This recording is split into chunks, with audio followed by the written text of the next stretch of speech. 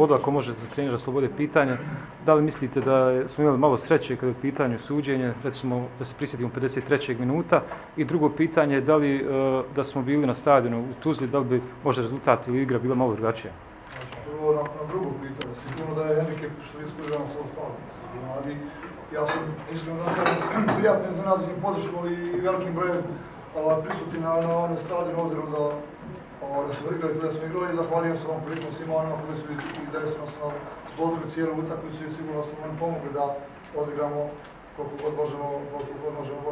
Mislim, prvo pitanje je 53. minut kada je lopta, čini mi se, prema našim snimcima ovaj, ušla već u gol bila.